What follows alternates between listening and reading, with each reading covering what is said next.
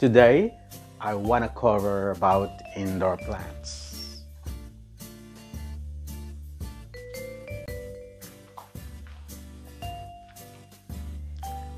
I love an idea having plants inside at home, and I knows a lot how to take care of them. Why indoor plants? Indoor plants add color and texture and warmth to the home. Many houseplants are easy to grow, but they must be given appropriate care. Proper watering.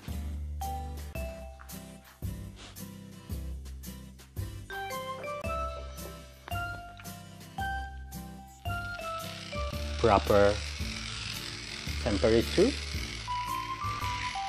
Ah. And of course, proper lighting. Indoor plants also don't just look good. They make us feel good. Mentally and physically and of course spiritually. It can boost our mood. It reduces stress, fatigue, sore throats, and colds. Oh. And art therapeutic too.